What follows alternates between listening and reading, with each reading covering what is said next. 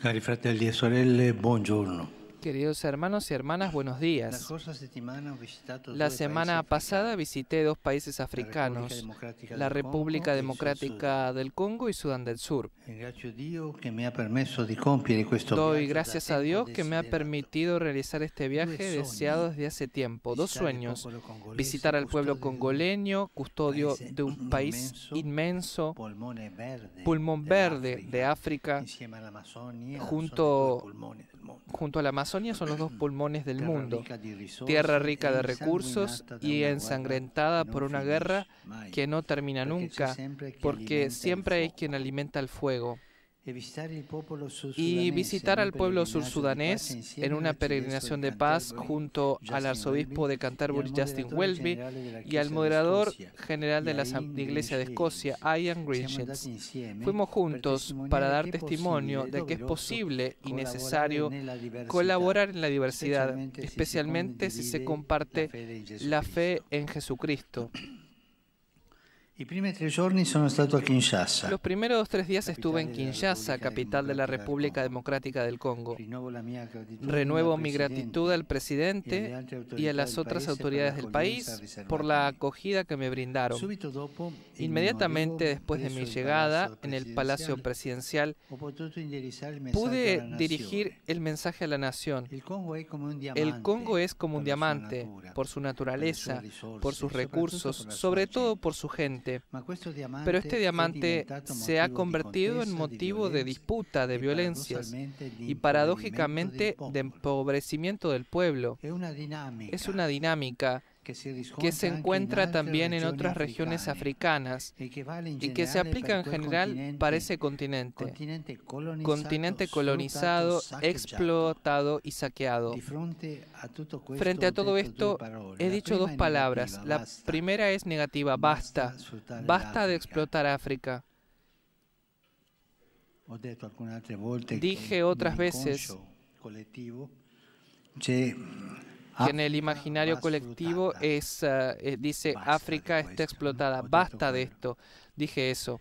La segunda palabra es positiva, juntos, juntos con dignidad, todos juntos, con respeto recíproco, juntos en el nombre de Cristo, nuestra esperanza. Sigamos adelante. No explotar y seguir adelante juntos. Y en el nombre de Cristo nos reunimos en la gran celebración eucarística. En Kinshasa también hubo otros encuentros. En primer lugar con las víctimas de la violencia en el este del país, la región que desde hace años está desgarrada por la guerra entre grupos armados manejados por intereses económicos y políticos. No pude ir a Goma. La gente vive en el miedo y en la inseguridad, sacrificada en el altar de negocios ilegales. Escuché los testimonios impactantes de algunas víctimas, especialmente mujeres, que depositaron a los pies de la cruz armas y otros instrumentos de muerte. Con ellos dije no a la violencia, no a la resignación, sí a la reconciliación y a la esperanza. Han sufrido tanto y siguen sufriendo mucho. Después me reuní con representantes de diferentes obras caritativas presentes en el país para agradecerles y animarlos. Su trabajo con los pobres y por los pobres no hace ruido, pero día tras día hace crecer el bien común. Sobre todo con la promoción. Las iniciativas de caridad deben ser siempre promocionales en primer lugar. No solo para la asistencia, sino para la promoción. Asistencia sí, sino, pero promoción. Un momento alentador fue aquel con los jóvenes y los catequistas congoleños en el estadio. Fue como una inmersión en el presente proyectado hacia el futuro. Pensemos en la fuerza de renovación que puede llevar esa nueva generación de cristianos formados, animados por la alegría del Evangelio. A ellos les indiqué cinco caminos a los jóvenes. La oración, la comunidad, la honestidad, el perdón y el servicio. Para los jóvenes del Congo, El camino es este, la oración, vida comunitaria, honestidad, perdón y servicio. Que el Señor escuche su grito que invoca justicia. Después en la Catedral de Kinshasa me reuní con los sacerdotes, los diáconos, los consagrados y las consagradas y los seminaristas. Son tantos y son jóvenes porque las vocaciones son numerosas. Eso es una gracia de Dios. Los exhorté a ser servidores del pueblo como testigos del amor de Cristo, superando tres tentaciones, la mediocridad espiritual, la comodidad mundana y la superficialidad. Son tentaciones, yo diría, universales para los seminaristas y para los sacerdotes. La mediocridad espiritual, cuando un sacerdote cae en la mediocridad, es triste. La comodidad mundana, es decir, la mundanidad, que es uno de los, peligros, los peligrosos males que puede eh, suceder en la iglesia y la superficialidad.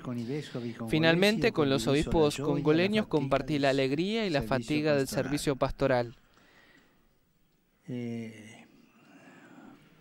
los invité a dejarse consolar por la cercanía de Dios y a ser profetas para el pueblo, con la fuerza de la palabra de Dios, ser signos de su compasión, de cómo es el Señor, de la actitud que tiene el Señor con nosotros, la compasión, la cercanía y la ternura. Son los tres modos del Señor es el modo en que el Señor hace con nosotros. Se hace cercano en la cercanía con compasión y con ternura. Esto pedía a los sacerdotes y a los obispos. Luego la segunda parte del viaje tuvo lugar en Yuba, capital de Sudán del Sur, estado nacido en 2011. Esta visita tuvo una fisonomía totalmente particular, expresada por el lema que retomaba las palabras de Jesús, rezo para que todos sean uno. En efecto, se trató de una peregrinación ecuménica de paz realizada junto a los jefes de dos iglesias históricamente presentes en esa tierra, la Comunión Anglicana y la Iglesia de Escocia. Era el punto de llegada de un camino iniciado hace algunos años que nos había visto reunidos aquí a Roma en 2019 con las autoridades sursudanesas para asumir el compromiso de superar el conflicto y construir la paz. Eh, en el 19 se hizo un retiro espiritual aquí en la curia de dos días con todos estos políticos, toda esta gente, algunos enemigos entre ellos, todos vinieron al retiro y esto dio fuerzas para seguir adelante. Lamentablemente el proceso de reconciliación no ha avanzado tanto ¿eh? y el recién nacido Sudán del Sur es víctima todavía de la vieja lógica del poder, de la rivalidad que produce guerra, violencia, refugiados y, desplazados internos. Agradezco tanto al señor presidente de la acogida que me ha dado y cómo está tratando de gestionar este camino nada difícil, nada fácil, para decir no a la corrupción, al tráfico de armas y sí al encuentro y al diálogo. Esto es vergonzoso, ¿eh? tantos países, así se dice civilizados, ofrecen ayuda a Sudán del Sur. Y el ayudo consiste en armas, armas, armas, para fomentar la guerra. Esto es una vergüenza. Eh, sí, andar adelante diciendo no a la seguir adelante no a la no a la diciendo no a la corrupción no al tráfico de armas y sí al diálogo. solo así podrá haber desarrollo la gente podrá trabajar en paz los enfermos curarse los niños ir al colegio el carácter ecuménico de la visita a Sudán del Sur se manifestó en particular en el momento de oración celebrado junto con los hermanos anglicanos y con los de la Iglesia de Escocia. Juntos escuchamos la palabra de Dios, juntos le dirigimos oraciones de alabanza, de súplica y de intercesión. En una realidad fuertemente conflictual como la de Sudán del Sur, este signo es fundamental y no se puede dar por descontado, porque lamentablemente existe quien abusa del nombre de Dios para justificar violencias y abusos.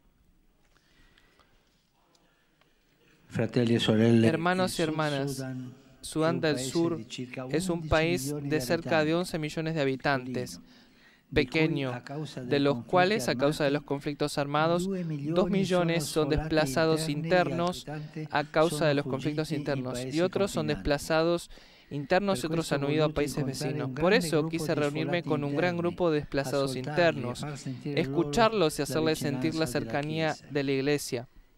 De hecho, las iglesias y las organizaciones de inspiración cristiana están en primera línea junto a esta pobre gente que desde hace años vive en los campos para desplazados. En particular me dirigí a las mujeres. Son buenísimas, hay buenísimas mujeres allí que son la fuerza que puede transformar el país y animé a todos a ser semillas de un nuevo Sudán del Sur, sin violencia, reconciliado y pacificado. Después en el encuentro con los pastores y los consagrados de la iglesia local, miramos a Moisés como modelo de docilidad a Dios y de perseverancia en la intercesión. Y en la celebración eucarística, último acto de la visita a Sudán del Sur y también de todo el viaje, me hice eco del Evangelio, animando a los cristianos a ser sal y luz en esa tierra tan, tan atribulada. Dios no pone su esperanza en los grandes y en los poderosos, sino en los pequeños, en los humildes. Este es el modo de actuar de Dios. Agradezco a las autoridades de Sudán del Sur, al señor presidente, a los organizadores del viaje y a todos aquellos que han que han puesto su esfuerzo, su trabajo para que la visita pudiese desarrollarse bien. Y agradezco mis hermanos Justin Welby e Ian Griffiths por haberme acompañado en este viaje ecuménico recemos para que en la República Democrática del Congo y en Sudán del Sur y en toda África broten semillas de su reino de amor, de justicia y de paz. Gracias. Queridos hermanos y hermanas, la semana pasada visité dos países africanos, la República Democrática del Congo y Sudán del Sur. Agradezco a Dios que me permitió realizar este viaje tan esperado. Los primeros tres días estuve en Kinshasa, capital de la República Democrática del Congo. Compartimos la fe en diversos encuentros y celebraciones. El pueblo congoleño habita en una tierra rica de recursos, pero herida por conflictos que no acaban nunca. Pude escuchar los valientes testimonios de algunas víctimas de la guerra, reafirmando junto a ellos la necesidad del perdón y la paz. La segunda etapa del viaje fue una peregrinación ecuménica de paz a Yuba, capital de Sudán del Sur. Fui junto con el arzobispo de Canterbury, Justin Welby, el moderador general de la Iglesia de Escocia, y ahí. Allí me encontré con el pueblo de Dios sur-sudanés y suplicamos juntos el don de la concordia y la reconciliación, así como el celo apostólico para seguir siendo testigos de la esperanza y la alegría del Evangelio. Saludo cordialmente a los peregrinos de lengua española, en particular a los que han venido de Chile. Encomendemos a las víctimas y a los afectados por los incendios en esa querida nación. Les pido también que recemos por nuestros hermanos y hermanas del continente africano, especialmente por la República Democrática del Congo y Sudán del Sur, para que Dios los guíe por sendas de amor, de justicia y de paz. Que Jesús los bendiga y la Virgen Santa los cuide. Muchas gracias.